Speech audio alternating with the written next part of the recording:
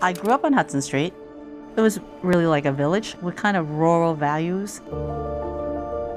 Everybody's father worked similar jobs. Everybody's mother sewed.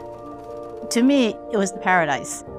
This was the beginning of our journey to meet the American dream.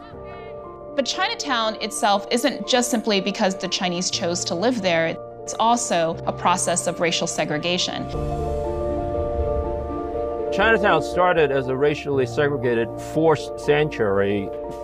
People felt a sense of communal bond in their shared language and culture. But over time, because of its proximity to the center city, now is ripe for gentrification.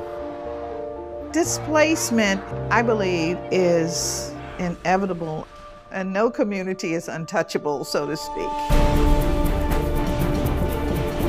The Chinatown that's there today is not the Chinatown that I know, and I would not call it Chinatown.